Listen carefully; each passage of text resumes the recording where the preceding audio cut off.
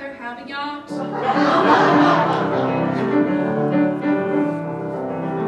I met a man.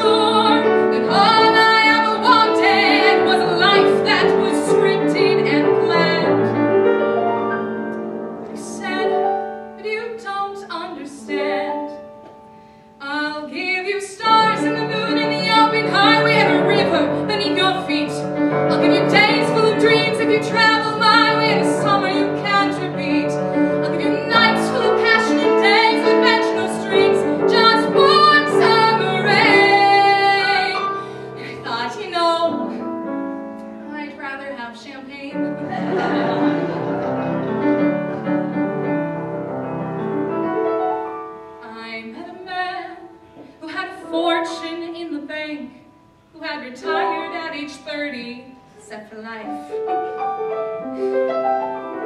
I met a man and didn't know which stars to thank, and then he asked one day if I would be his wife.